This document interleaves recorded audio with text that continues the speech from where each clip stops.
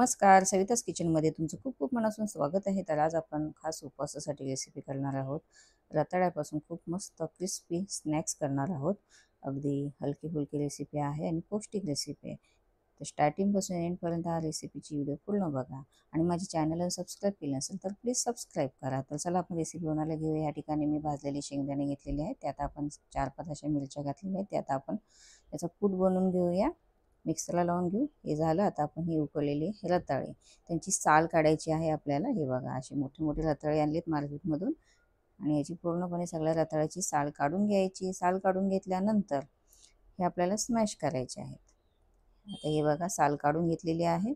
आता आपण स्मॅशर जो असतो पावभाजीचा त्याच्याने स्मॅश करायचे. किंवा तुम्हाला किसून घ्यायचे तर तुम्ही किसून पण घेऊ शकता. आणि गरम आहेत रताळे ते शक्यता हाताने न करता असे स्मॅशरने स्मॅश करायचं. ते बघा अगदी मस्त स्मॅश होत आहेत. त्यानंतर आता आपण यामध्ये एक एक तर ह्या ठिकाणी मी रताळी अर्धा किलो घेतलेले आहेत स्नॅक्स बनवण्यासाठी. तर हे बघा स्मॅश करून झाले आता आपण साहित्य घालूया. या ठिकाणी शेंगदाण्याचा कूड घातलेला आहे. त्यानंतर वरीचं तांदळाचं पीठ. जे वरीच वरीच्या तांदळापासून मी घरीच तयार पीठ तयार केलं. मिक्सरला लावून बारीक केलं आहे एक कप घेतलेला आहे. त्यानंतर चवीप्रमाणे मीठ. मीठ आपल्या अंदाजाने घ्यायचं. हे घालून झालं की हाताने दोन तीन मिनिटे छान मळून घ्यायचं. पाण्याचा वापर अजिबात नाही करायचं. तर ह्यामध्ये मी जिरं घालते. जर जिरं उपवासाला चालत असेल तरच घाला. नसेल चालत तर नका घेऊ. स्किप करू शकता. किंवा कोथिंबीर घालायची असेल तर तुम्ही कोथिंबीर पण घालू शकता जर उपवासाला चालत असेल तर. तर ह्या वेळेला ह्या वेळेला मी कोथिंबीरचा वापर अजिबात नाही केला. तर आता आपण छान असं मळून घेऊया दोन तीन मिनिटे. ह्यात तुम्हाला अजून काही बटाट्याची कीस घालायची असतील तर तुम्ही घालू शकता. किंवा ह्यात तुम्हाला अजून थोडा वरीचे तांदळाचं पीठ कमी वाटत असेल तर तुम्ही पिठाचा पण वापर करू शकता. तर अशा प्रकारे हे मळून झालेलं आहे. आता आपण अर्धा लिंबूचा रस घालूया. आणि अर्धच घ्यायचं. त्यानंतर आपण साखर घालूया. साखर आपल्याला आपल्या आवडीप्रमाणे घ्यायची किती गोड पाहिजे असेल त्याप्रमाणे. तर मी दोन चमचा घेतलेला आहे. परत आता आपण हाताने व्यवस्थित परत ते मिक्स करून घेऊ. लिंबू आणि साखर. ह्याच्याने काय होतं स्नॅक्स आपले मस्त चटपटीत आणि कुरकुरीत बनतात. आणि टेस्ट पण अशी छान लागते चटपटीत. तर अशा झालेल्या आहेत. आपण थालीवर तेल घालूया आणि हे तेल स्प्रेड करून घेऊ. आणि हे सारण आपण मिश्रण जो तयार केलेला आहे तो आता आपण यावर घालून छान थापून घेऊ. आणि याला चौकोन आक चौकोनी आकार देऊ.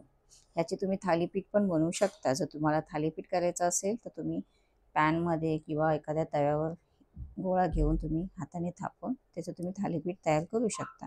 तर अशा प्रकारे असं चौकोन आकार द्यायचं आणि जास्त असं पातळ थापायचं नाही थोडं जाड ठेवायचं ज्याने आपल्याला व्यवस्थित त्याला कट करता येतील. तर हे झालं. आता आपण चाकू घेऊया आणि चाकूने छान असं लांब लांब अशी चौकोनी आकार देऊन स्नॅक्स तयार करू ते बघा अशा प्रकारे. छान व्यवस्थित कट होत आहेत. आणि थोडा घट्ट ठेवायचं. पातळ अजिबात नाही ठेवायचं. आणि पातळ होत असेल कारण वरीचं पीठ थोड्या वेळाने असं पातळ पातळ होत जातं तर थोडा तुम्ही पीठ वरून घालू शकता मळताना. तर अशा प्रकारे तयार झालेले कट करून घेतलेत. आता आपण फ्राय करायला घेऊया. आणि सुरुवातीला तेल गरम झालं की थोडं कमी करायचा गॅस आणि मंद आचेवरती हे छान क्रिस्पी कुरकुरीत असं फ्राय करून घ्यायचे रताळ्याचे स्नॅक्स. आणि फटाफट तळतात जास्त वेळ लागत नाही पण फास्ट नाही तळायचे कारण की ते पटकन ब्राऊन कलर येतो. हे बा अशा प्रकारे असा गोल्डन कलर आला पाहिजे रताळ्याचे स्नॅक्सला. आणि हलकी फुलकी रेसिपी आहे. बाकीचे सुद्धा आपण असे चार दो दोन मिनिट असे छान फ्राय करून घेऊया. तिळात तर अशा प्रकारे रताळीचे स्नॅक्स बनून तयार झालेले आहेत उपवासाचे. तर आता आपण प्लेटमध्ये काढूया सर्व करण्यासाठी. आणि हे दहीबरोबर खाऊ शकता किंवा चटणीबरोबर उपवासाची जी चटणी आहे ती मी तुम्ही यूट्यूबला शेअर केलेली आहे. तर त्याबरोबर तुम्ही खाऊ शकता. अशा प्रकारे उपवासाची रताळीची रेसिपी बनून तयार झालेली आहे. तर उपवासाची रेसिपी तुम्हाला कशी वाटली? तर कमेंटमध्ये नक्कीच सांगा. आवडली तर शेअर करा सगळ्यांना. आणि अजून तुम्ही माझ्या चॅनलला सबस्क्राईब केलं नसेल सेविकस किचन चॅनल तर आठवणीने सबस्क्राईब करा बाजूला बेल ऐकून त्याला क्लिक करा. रेसिपीची व्हिडिओ पूर्ण पाहिल्याबद्दल खूप खूप मनासून धन्यवाद.